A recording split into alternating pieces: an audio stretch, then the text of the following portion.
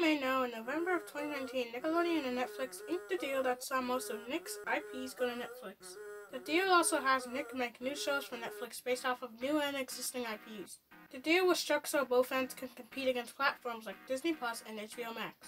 Well, I see desperation. You probably know that Viacom can't do, couldn't do streaming or new media for the life of them, even after merging with CBS. Ever wonder why South Park is on HBO Max?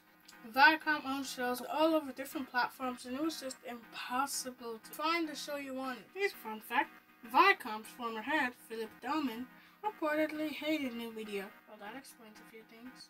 Netflix is obviously desperate. With multiple companies making their own streaming service, they're pulling their programs off of Netflix and onto those. Netflix obviously still wants to compete, and for children's programming, who better to ask them a network that's owned by a company that is way behind? But this is a problem. You see, back in 2016, Nick was making a few shows namely Pinky Malinky, Glitch and later Meet the Voxels, now called Rob Voxel. But as production went on for them, and some of them even had seasons completed, Nick just sat on them for the longest time. No new release dates, no news on them, just barely anything, and they kept getting delayed and delayed until finally with this Netflix deal, they got screwed over and just dumped onto the platform with little fanfare. This sucks. I mean, come on. Does the SpongeBob principle apply before a show is aired? Oh, come on. That SpongeBob principle pretty much killed the show and it got banished to Nicktoons if it didn't get as high ratings as SpongeBob from the beginning. That sucks. And now they want it to, it's like they're trying to apply it before a show even exists anymore. Oh my gosh.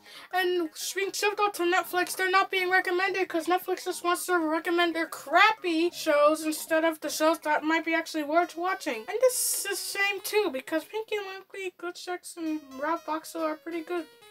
I mean, by the time you might be watching this again, Rob Voxel will be out because I'm record I'm recording this before it's out, but you know. Ugh, it sucks. Especially Glitch Techs. That's a really good show, but I haven't seen it being recommended once. To just watch it, I had to write Juvenile just to search it up because it wasn't showing up on homepage. Search through nothing. And I'm fearing this practice is gonna spread to other channels too. Like Cartoon Network. Like, already, they are just making shows that are probably supposed to be for their network, and they're just being put on HBO Max. Seems like AT&T can't run the channel anymore.